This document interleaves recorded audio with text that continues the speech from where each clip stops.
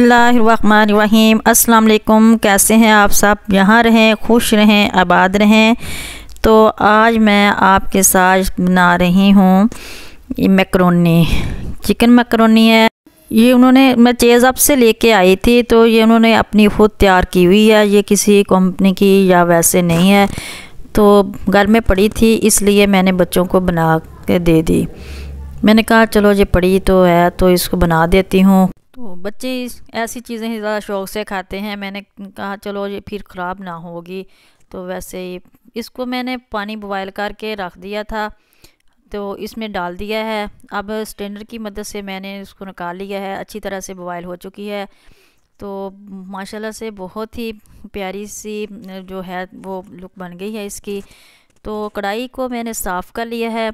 अब दोबारा तो इसको हम में डालेंगे आयल आयल आप जितना चाहें, जितना मुनासब समझें, उतना डाल सकते हैं। तो आयल जब गर्म हो जाएगा तो फिर इसमें हम चिकन जो है, वो डाल देंगे। चिकन को पहले हमने फ्राई करना है। अच्छी तरह से चिकन को मैंने थोड़ा सा बॉयल करके भी रख लिया था और इसकी जो यखनी थोड़ी सी थी गाड़ी गाड़ी सी वो भी मैंने रख ली थी। क्योंकि मैं थोड़ा सा इसको मैक्रोने में डाल लेती हूँ तो इससे इसका अच्छा टेस्ट आ जाता है।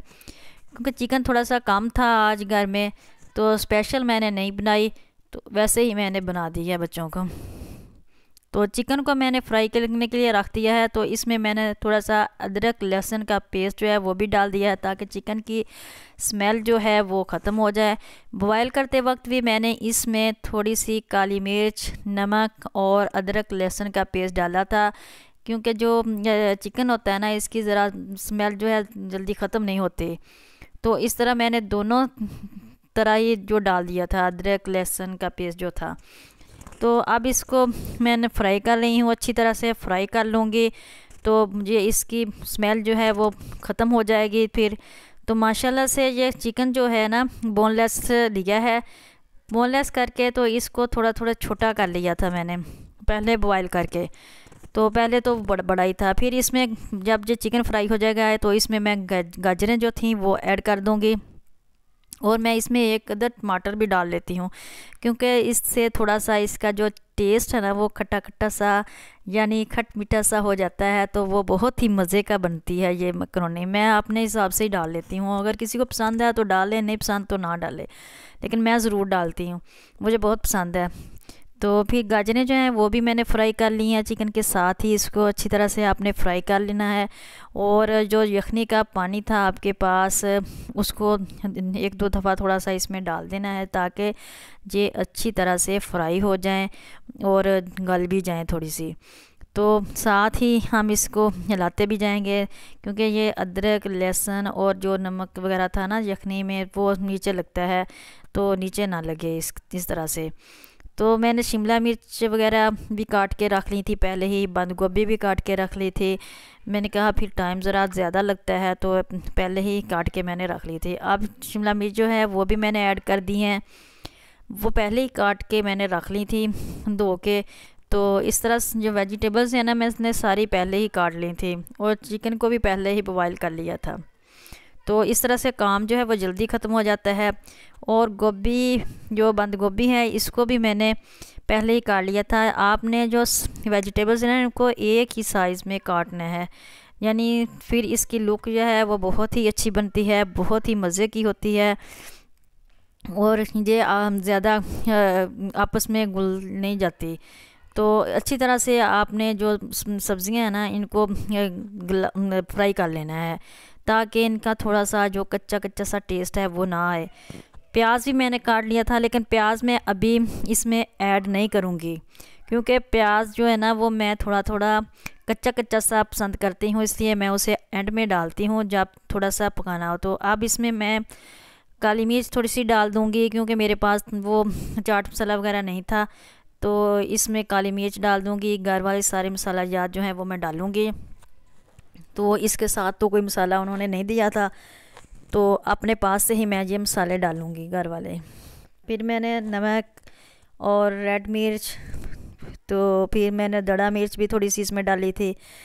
तो ना जो ज़्यादा स्पाइसी थी तो ना ही माशाल्लाह ये बनी, बनेगी और ना ही ज़्यादा जे चटपटी सी बनेगी। तो माशाल्लाह से फिर मैंने इसमें नमक भी डाल दिया था। तो बहुत ही अच्छी और मज़े की जो बिरयानी है, उसकी लुक जो है वो बहुत ही देखने में बहुत प्यारी लग रही है। तो सब्ज़ियों को मैंने पहले ही अच्छी तरह से फ्राई कर लिया है। आप चाहें तो इसमें मटर और जित भी डाल सकते हैं, आलू भी डाल सकते हैं, लेकिन मुझे वो पसंद नहीं है। तो फिर मैंने जब बॉयल करके रखी थी मैक्रोनी तो उसको मैंने इसमें डाल दिया है। साथ ही मैंने इसमें प्याज भी ऐड कर दिए हैं, ताकि ये इसके साथ थोड़े से पक जाए। लेकिन ये कच्चे कच्चे से बहुत ही अच्छे लगते हैं। फिर मैं सारे सॉसेज जो हैं वो डाल दूँगी। रेड चिली डाल दी है।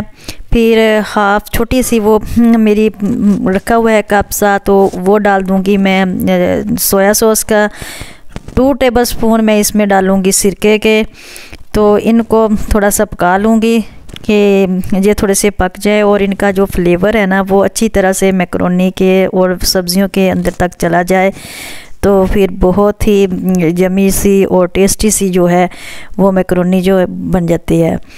तो माशाल्लाह से देखे दे जाइए, इसकी लुक बहुत ही अच्छी है। तो मैं बच्चे भी पास बैठे हुए हैं, उनके मुँह में बस पानी आ रहा है। जब बच्चों की पसंद की चीज़ बन रही हो ना तो बच्चे बड़े खुश होते हैं। तो माशाल्लाह से अगर आप मेरे चैनल पर नए हैं तो मेरे चैनल को लाइक, सब्सक्राइब और शेयर लाजमी कर दीजिएगा। आपकी मेहरबानी होगी।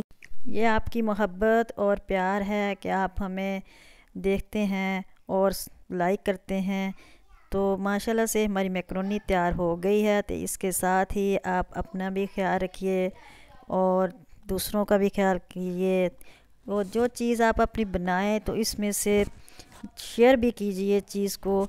तो और थोड़ी सी अल्लाह की राह में भी दीजिए। तो इस तरह से आप बहुत ही खुश होंगे।